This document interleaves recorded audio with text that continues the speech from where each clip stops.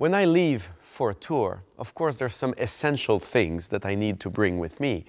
Uh, they're quite obvious, you know, the, the costume for the concert, uh, a few different shirts uh, to make sure because sometimes in between concerts there's not enough time to dry clean so you need a few uh, sets.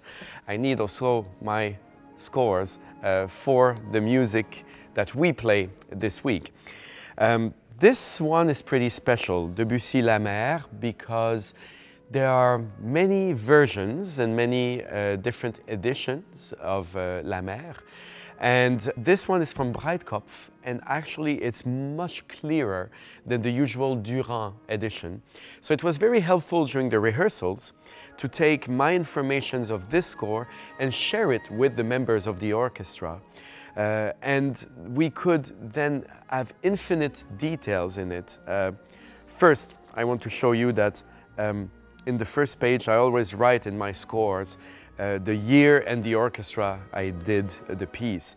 So this score dates from 2008, the first time I did it in Wien uh, with the Wiener Symphoniker, remember. Then we have London Philharmonic, Rotterdam, Bayerische Rundfunk, Rotterdam again, Montreal, Berlin Philharmonic, the Met. So it's all listed. I like to have this. And then I have my markings a little bit around um, the score because this comes from the past performances and its precisions that I want to make.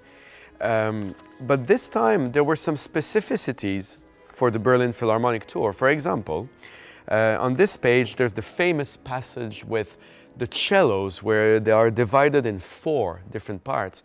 And there's a little note at the bottom of the page that says that the first two bars there should only be eight celli playing and from the third bar, there should be 16 cellos playing.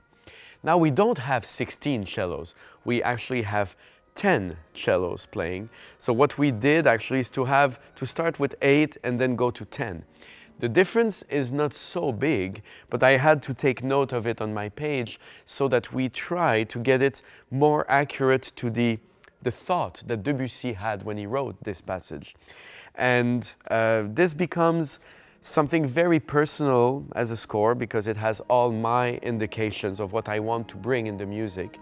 And when this one is not too much written in, but when it becomes too many markings of me, I like to keep it, but to buy a new one, a fresh one, just to see the page without my markings. I'm so much looking forward to keep and doing these concerts during the tour with this piece that I love uh, more than anything, Debussy, La Mer.